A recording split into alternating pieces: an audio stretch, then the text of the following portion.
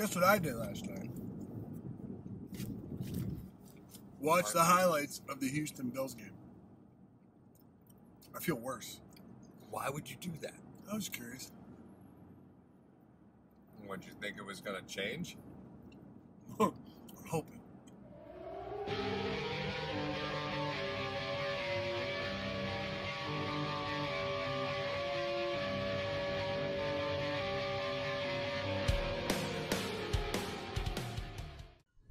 What'd you learn? No, it was as bad as you remember. No, Like, it was worse. went, it went downhill. It was worse than I remember because I Okay.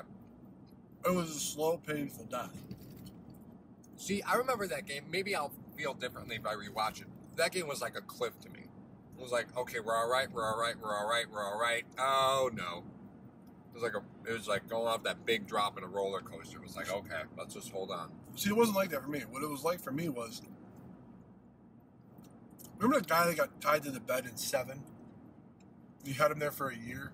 You talk about this movie a lot. Yes, I do remember the guy. That's what it felt like for me. And they went flip, flipping through the pictures. Mm-hmm. He's oh, he's healthy. He's healthy. Oh boy, Mm-hmm. no. Well, I think there's something to be said for because everybody's going to talk about the defense. So I, I, I actually, I, I would like to unpack a little bit. Is there concern on the defensive side of the football post Houston Texans game? Because a lot of people are going to blame Josh Allen for not being able to bring the team back, but I think there's something to be said for that word back, right? Like the Bills were losing in that game. Yeah. They they were losing. So, is there something to be said about the defense? Is the defense not in the shape that we think it is? Is is there concerns or red flags that maybe we're just not privy to right now, we're just we're just ignoring? Like, is the defense really in as good a shape as we feel? Because I can tell you, last season I was excited to be a Bills fan going into the season. There was so much excitement around it. Yeah. Right, second year Josh Allen, the defense is all coming back. Well, now I'm looking at, you know, going into 2020 and okay, third year of Josh Allen, the defense is coming back, but I feel different. I feel very different. Yeah. Why do I feel different about a team that made the playoffs versus a team that only won six games? Um, Although the variables, the, the team is markedly improved. Why do I not? Why am I not excited about that? Why am I not at the same level of excitement as I was last offseason? the level of expectation that you have now, it's it's just it's just the same thing as if the Bills are winning in a game. Mhm. Every fan is like, "Are they gonna Yeah. hold on?" Not, "Hey, we're gonna kill this team." We're not there yet. Bills are not there yet. No. After being beaten up for 17 years, that's the attitude that anyone would have. Like, all right, they're up by 20. You know, they're going to lose it later. You know what I mean? Like, stuff like that. As far They'll as. blow it in the playoffs. They'll blow it in the play- blow it in the playoffs. and they did again. Another major league reference. What happened in Houston was you had, and everyone else who watched the game had a front row seat for why the Bills lose games. You went up 16 to nothing when you should have been up 28 to nothing. All right. Good. Wait, time out, time out. Go back over that. What, what do you mean? You were had a 16 touchdown and three field goals when those three field goals should have been touchdowns. You should have. Okay. you should have put the game away in that in that sense. You had the ability because you're kicking 40 yard field goals. Mhm.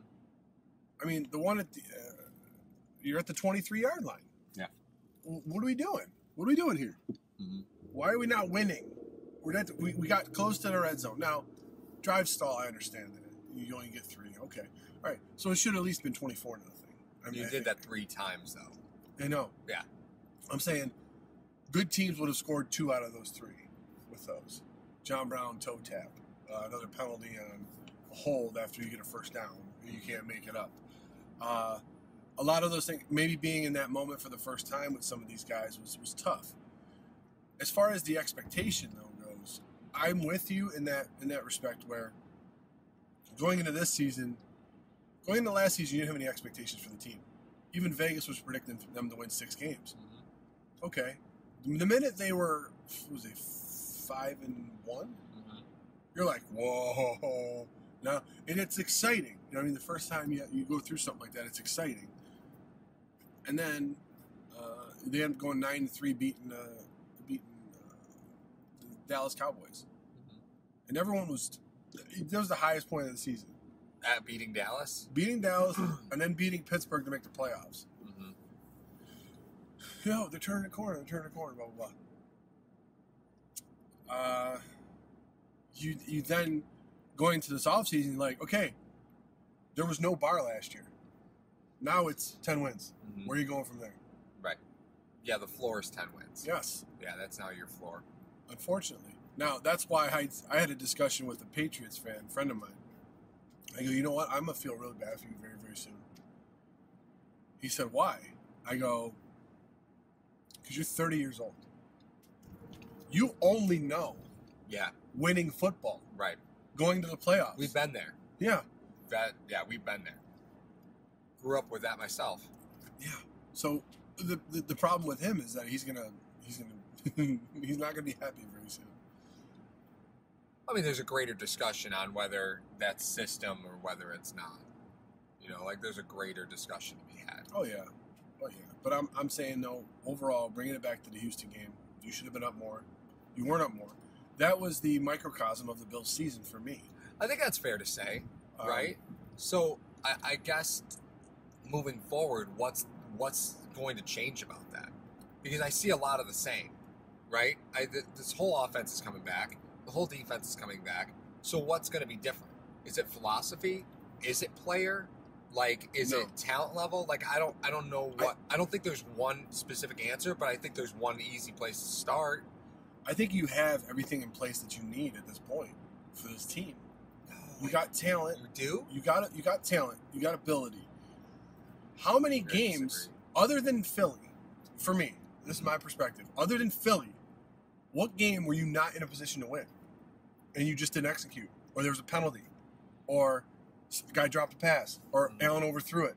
Right. You could have beaten the, the Patriots. He he throws that corner out to Knox. He Mhm. he catches it. That game yeah, might be over Yeah, it's a different game. because it wasn't the same New England that we saw. Remember when they played the Titans, they got rolled. Mm-hmm. Um, so there were I, there were plays throughout the year that I was sitting there going, you know what, two three plays here and there, they could have been twelve and four. Two three plays here and there, they could have been eight and eight. You've heard the phrase, well, it's academic at this point. You've heard that phrase, right? Yeah. I think that in the Houston game, you want to talk about the defense. I think it was academic by the time it went to uh, overtime. I think they were just gassed. Mhm. They were just so tired. Well, yeah, Milano missed a tackle on Watson. Milano, That's what did it. Milano, Edmonds, Hyde, and Poyer play 100% of the snaps. Mm-hmm. This is, you are, and they played 100% of the snaps the whole season. Yes.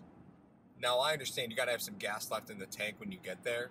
You know, when you get to the end of the road, you still got to have some gas left in the tank. Mm-hmm.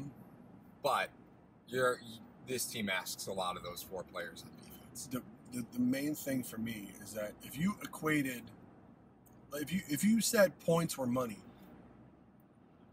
okay, points are money. If you want to help this defense, you either got to have time or money. Mhm. If you don't have either one of those, like they weren't holding the ball forever. No, and they weren't scoring a lot of points. Right. That puts too much pressure on this defense. Yeah, You either got to score a lot or have the ball. Well, that's where the like the field goal drives didn't frustrate me at the time because you were moving the ball, right? You you were taking up first time, downs, yeah. right? But that second half, No. three and out, three and out, three and out, three and out, three and out. It was awful. and the, the but that was a moniker against the Bills at the beginning of the season. Well, you have to wait till the wait till the fourth quarter. You know, they they show up in the fourth quarter. Sure, they didn't make halftime adjustments all season. No. right? I didn't see many of them. Even Watson said it after the game. He said, "Listen, we know what they were going to come out in the second half because we saw what they did in the first half." And the greatest part about it, and one of the biggest secrets in the NFL, is this: if you hold the ball as an offense longer than the other team, you're not giving them chances to score on your defense. Number one, number two, to game plan for your defense because you can throw different wrinkles at them all the time. If your defense is on the field a lot, they start to get used to tendencies. And this is a defense that has played together for 32 straight weeks. Yeah. Like, majority of these parts played together for 32 games straight. You're going to diagnose what they're doing. That was my uh, aggressive stroll down memory lane. Well, that's That's why I guess personnel gets me a little bit, right? Because we say, oh, the Bills are fine at linebacker. They got Milano and Edmonds. No, they're not. They're No. not fine at linebacker. No. They, they need seen you need to you need to put in different personnel packages every now and again. So a quarterback goes up and he looks, he's staring at the mic, he goes, "That's not Tremaine Edmonds." Right? Remember what we said about Mosley? Why Mosley would have been so, so great here? Because you put him anywhere. Put him anywhere. Any of those three you can put anywhere. But that's what I mean is You need a I- third guy. I think they're missing personnel. I, I think that's the differentiating factor. So when you said, you know, you, I think they have the talent, I was like, no, I disagree with you.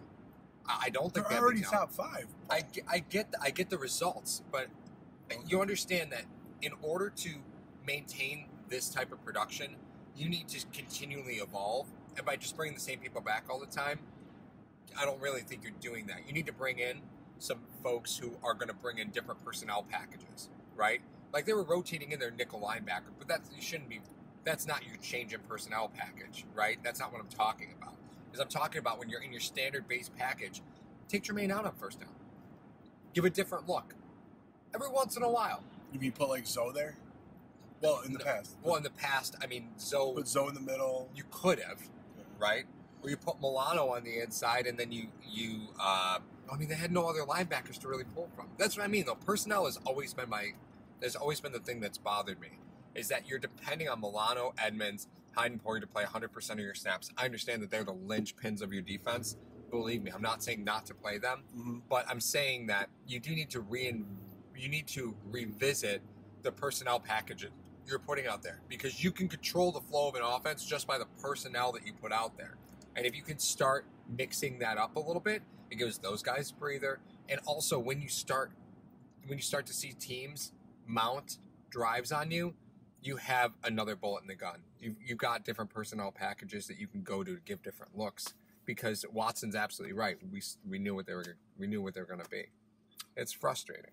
Who's That- who's That's the, the fault, but that's the fault of that's the fault of McDermott not being. I don't No, put that. I- I, I- don't put that on Beane. I don't think it's the fault of either one of them. Who's the other guy that got drafted with Jaquan? Jaquan Johnson. Who else? There's another safety, wasn't it? Or like a No. linebacker. hybrid? No, there's a linebacker. Um, that was um, It wasn't Tyrel Dodson. Was no agent. Tyrel was a free agent. Uh, oh God, he was uh, got hurt shoulder injury. It was on Uh, IR. yeah, he went to Florida. What the hell was his name? Vosean Joseph. Boshan Joseph. Thank you. Okay. Everybody in hashtag Nation was blowing up Boshan Joseph in our linebackers episode. Well, no. The point is this. You talk about the percent. They don't have the personnel to do that. That was their plan. They didn't plan for this kid to get hurt. But they didn't do anything to replace him either. Well, they did. They, they said because it's good enough right now. It's good enough. You got Vosean Joseph and Jaquan Johnson. One didn't play at all. One played in the playoff game. That was yeah, played in week 17. You got to think though; those are two extra picks now for this year. Mhm. Two guys on rookie deals. That's two extra draft picks you have. Yeah. So I- you yeah, you're right. So Right if you about that. decide to put Vosean Joseph on the other side of Milano with, and then flip them, are you kidding me? Or you want to put Joseph on one side, Edmonds on the other, put Milano in the middle? You're like, that's your different looks. They didn't have that ability this year. No, they didn't. They wanted to do that. Coming up in 2020, I think that's going to be their their hook. So I think they have the personnel, but it was hurt. You put another 25 pounds on Darryl Johnson, you don't have to worry about losing Shaq Lawson. Because he's like 230 something. He's 6'5, 230. Lawson's 265. So you have personnel there. You're getting Harrison Phillips back if you happen to lose Jordan Phillips. Now, keep in mind, I'm not, the saying same these guys are the same players. equal. Right. I'm not saying I'm saying you have a player there that you don't have to draft or sign. So that's what makes the draft for me so interesting. I don't know where they're gonna go. Oh yeah, I have no idea where they're going to fit on this roster. We talked about that last last season. It was like, what? You're going to draft a defender? Where are they going? to What are they going to play?